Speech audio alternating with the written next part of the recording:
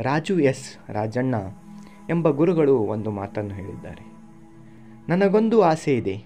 ನನ್ನ ವಿದ್ಯಾರ್ಥಿಯೊಬ್ಬ ವೈದ್ಯನಾದರೆ ಅವನ ಬಳಿ ನಾನು ಚಿಕಿತ್ಸೆಗಾಗಿ ತೆರಳಬೇಕು.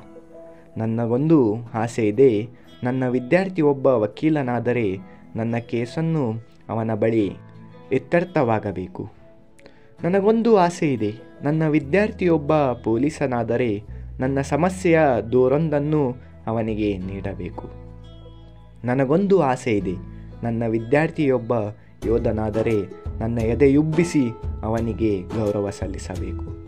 ನನಗೊಂದು ಆಸೆ ಇದೆ. ನನ್ನ ವಿದ್ಯಾರ್ಥಿಯೊಬ್ಬ ರೈತನಾದರೆ ಅವನು ಬೆಳೆದ ಅನ್ನದ ಕೈತುತ್ತು ತಿನ್ನಬೇಕು.